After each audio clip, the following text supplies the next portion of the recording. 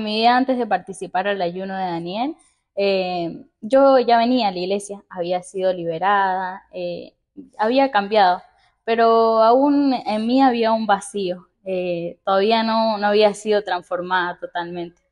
Entonces comenzó el ayuno de Daniel, nunca más oscura, y lo vi como una oportunidad, una oportunidad para poder recibir el Espíritu Santo, porque ya había tenido todas las bendiciones, pero aún me faltaba la mayor bendición.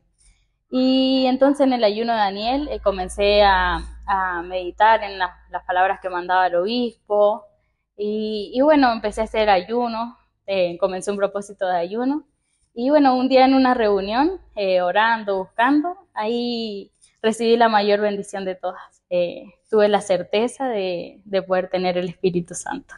Mi nombre es Andrés, soy de la Iglesia Universal de la Ciudad de Dorado Misiones. En este ayuno de Daniel recibí la presencia del Espíritu Santo en mi vida. Anteriormente yo era una persona depresiva, violenta, intenté suicidarme tres veces.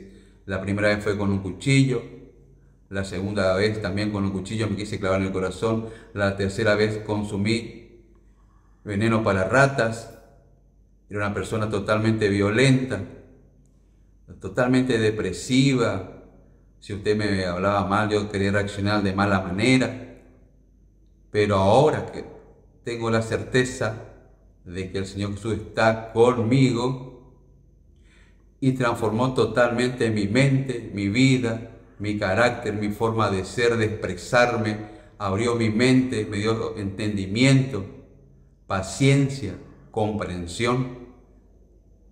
En este ayuno nunca más a oscuras. Hola, mi nombre es Judith, pertenezco a la iglesia de Loma de Zamora. Bueno, hoy quiero contar mi experiencia en el ayuno de, antes de llegar al ayuno de Daniel, lo que era yo, ¿no? Eh, antes tenía este pensamiento, malos ojos, era una persona que me costaba creer también. Y, bueno, así llegué. Este ayuno de Daniel, que, que nunca más a oscura, eh, cambió, eh, porque yo di también mi todo para Dios, o sea, leí más la Biblia, participaba más en las reuniones, eh, escuchaba prédica del obispo, incluso también lo que él iba, nos decía todos los días, ¿no? Porque todas las mañanas él daba una prédica y anotaba en el cuaderno y meditaba también. Y esa palabra eh, yo lo tenía durante todo el día en mi cabeza, que antes yo no lo hacía. Y bueno, y así fue mi vida, este, cambiando hasta el domingo 31 que llegó a recibir el Espíritu Santo con certeza. Mi vida cambió, recibí paz, alegría, como nunca antes yo había sentido. Esa fue mi, experiencia con el ayuno de Daniel.